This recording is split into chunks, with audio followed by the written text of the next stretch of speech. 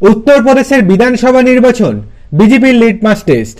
তার আগে ঘর গোছাতে মরিয়া গেরুয়া শিবির।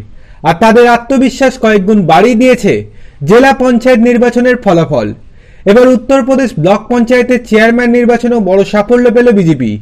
শনিবার রাজ্যের চারশো ছিয়াত্তরটি ব্লকের চেয়ারম্যান এবং ভাইস চেয়ারম্যান নির্বাচন হয়। এর মধ্যে তিনশো উনপঞ্চাশটি পদে কোনো প্রতিদ্বন্দ্বিতায় হয়নি। বিনা প্রতিদ্বন্দ্বিতায় বিজেপি জিতে নিয়েছে তিনশো চৌত্রিশটি আসন।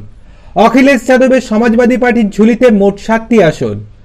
জেলা পরিষদ নির্বাচনের পর ফের বড় ধাক্কা খেল অখিলেশ যাদবের দল। উল্লেখযোগ্যভাবে মুলায়েম এবং অখিলেশের নির্বাচনী কেন্দ্র কনৌজের সবকটি ব্লক পঞ্চায়েতের দখল নিয়েছে বিজেপি।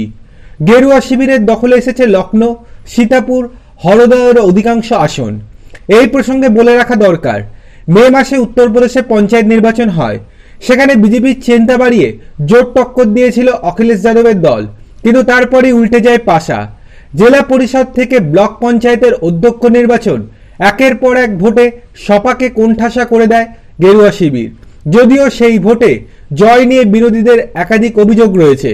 কথায় তাদের কথায়, রাজ্যের কুর্সিতে থাকায় ক্ষমতার অপব্যবহার করেছে যোগী সরকার।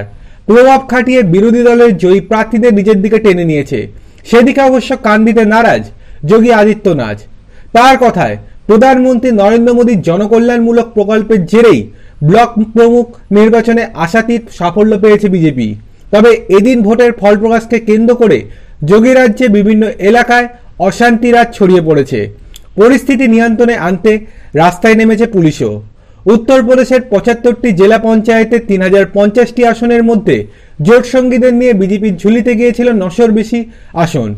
সহযোগীদের নিয়ে সমাজবাদী পার্টিও প্রায় সমসংখ্যক আসন পেয়েছিল। বিএসপি প্রায় তিনশো পনেরো এবং কংগ্রেস একশোটির মতো আসন জেতে। নির্দয়রা প্রায় হাজারের বেশি আসনে জয় পেয়েছিল।